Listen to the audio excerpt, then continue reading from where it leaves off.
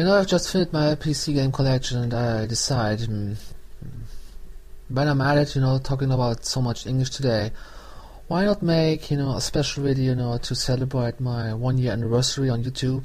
You know, it has been one year and, you know, a, couple of weeks ago now since I made my first video on YouTube, my first review, and so I decided I will go back to what made this channel so interesting for you in the first place, and that is game reviews. And you might wonder which game I'm going to to cover. Well, drums please, here it comes. Yes, Home Alone 2.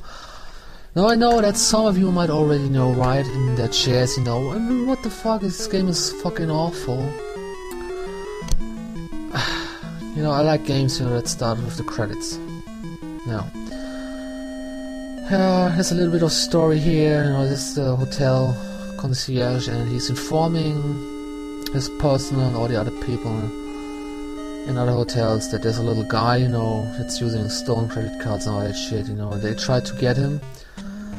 And then you have this bit, you know, Harry and Marv, you know, they're out of jail and they want to grab Kevin's ass and do some freaky stuff with it.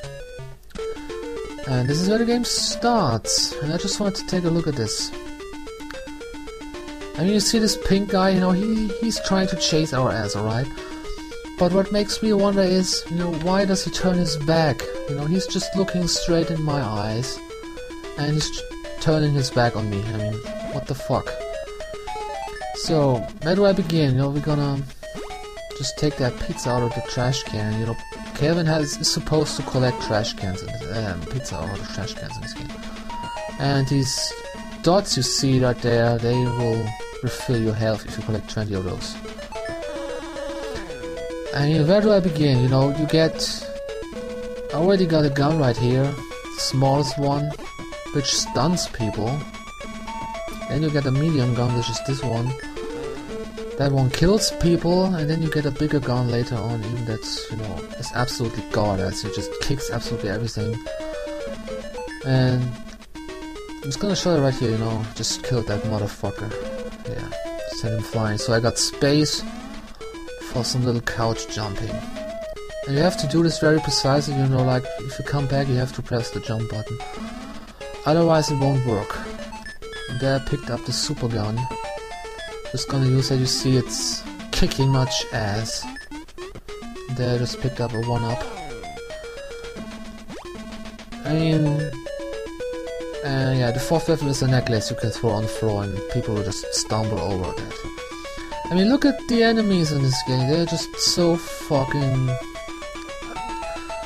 I mean, look at this, you know, fucking suitcases roaming around. You got some old fox dancing.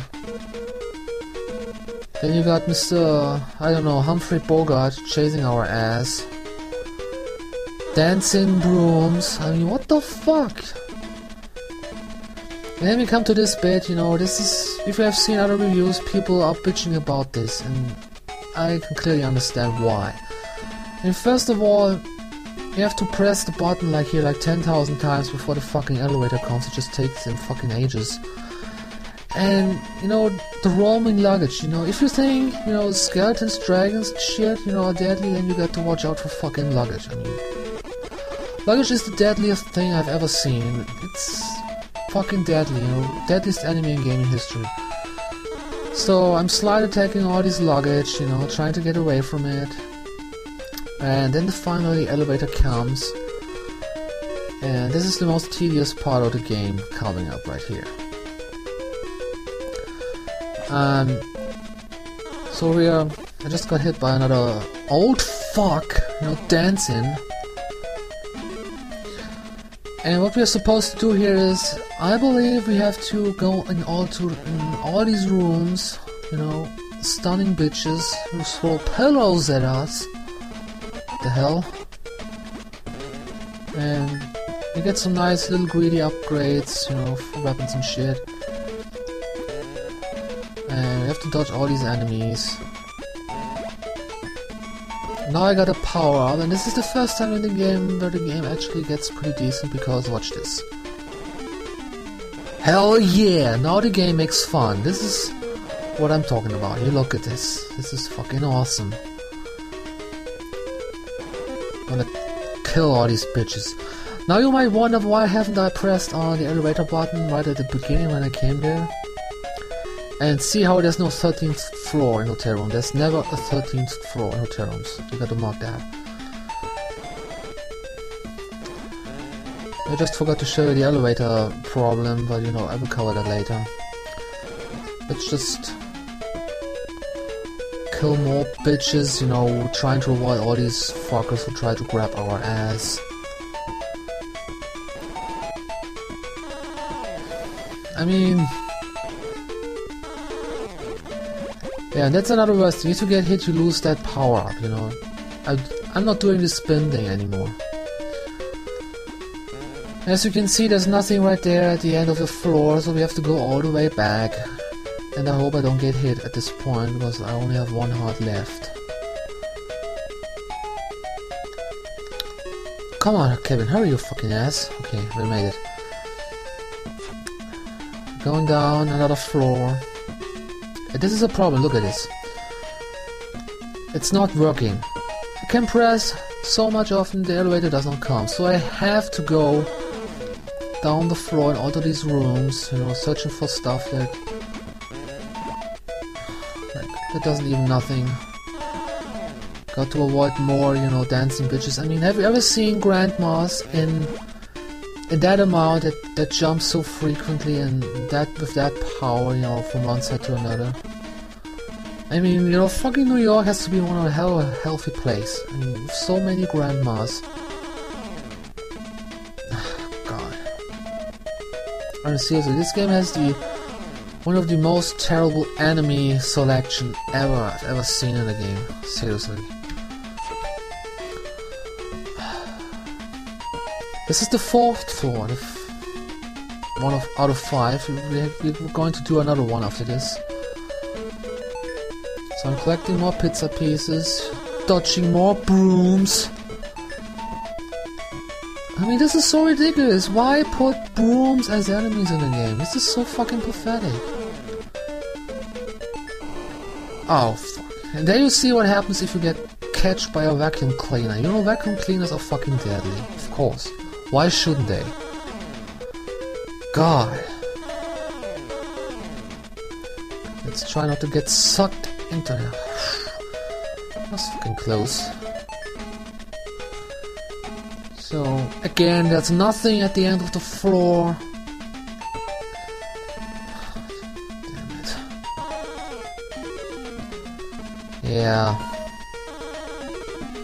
Fucking die, you old bitch.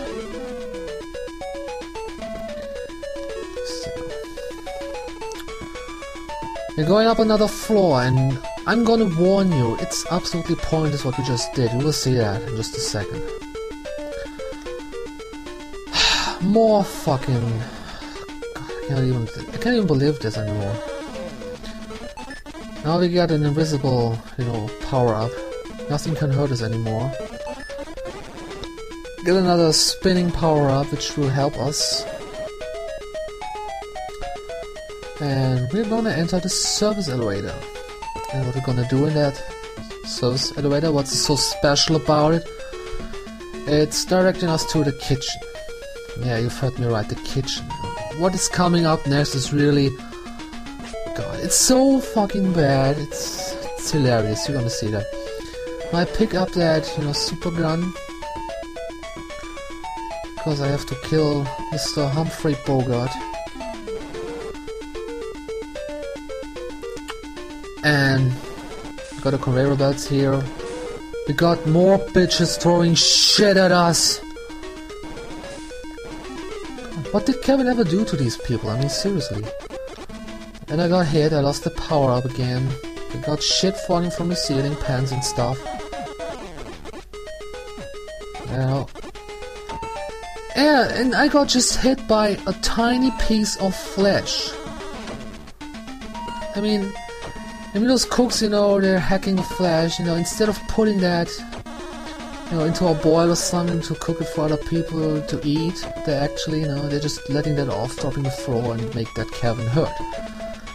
And this is my favorite bit. This is just so fucking pathetic. I mean, look at this. I mean, naturally you would just you would just pull out your gun and shoot that fucker, but you know that doesn't do anything. And this is what you're supposed to do. Watch this. I have to slide attack him. And the problem is, look what look what Kevin is doing. He's pulling off that poor man's trousers. And then he just disappears and turns into a head. I have to jump on that head. Of course, I die by touching that fucking head. Of course, why wouldn't it kill me? So I'm gonna do that again. And after that I have to make a break because I have reached at 11 minutes. Fucking... Okay, finally. Maybe get a 1-up. And see you in part 2 of this.